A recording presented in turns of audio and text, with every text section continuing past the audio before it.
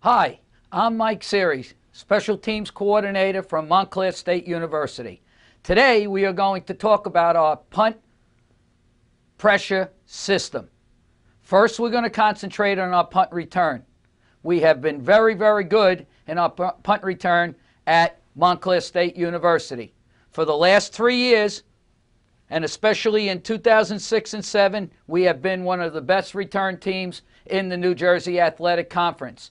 The last two years, we led, believe it or not, the conference with the same average of 12.8. Hopefully, today's talks will show you how we got we get into that great system that we have, and also some of the little techniques that we use in order to make our players better. Let's take a look at punt return. Our punt return block, we feel, is extremely important because this is our momentum changer. We want to build great momentum with the use of putting the fear in our punt pressure system in our opponents. Number two, the schemes exert maximum effort to block the punt. What do we mean by that? Well, we are a block team 90% of the time, which we feel leads to a better return game. We also feel that the, the opponent has to prepare for us, which helps us with some very good return situations. As I said, a key factor is always pressure. The next thing, it enables the punt coverage unit to block for every punt. The longer they got to stay and block, the better off we feel we are going to be. And of course, it exploits any problems they have in their punt mechanics or operation.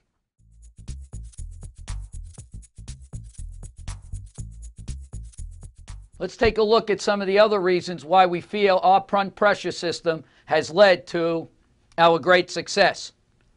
The best punt block teams are also the best return teams. We have proven that because when we talk about our punt block in our next video series, you're going to see that we are one of the best in the nation at doing that.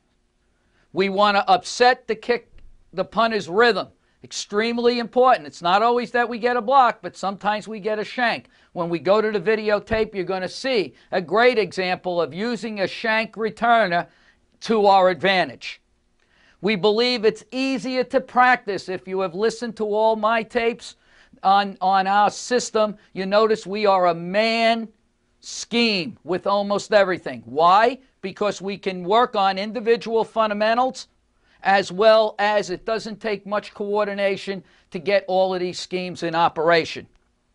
We like the one on one matchup because it holds our players accountable. And if they are having trouble, we have a drill that can make them a little bit better at doing their job.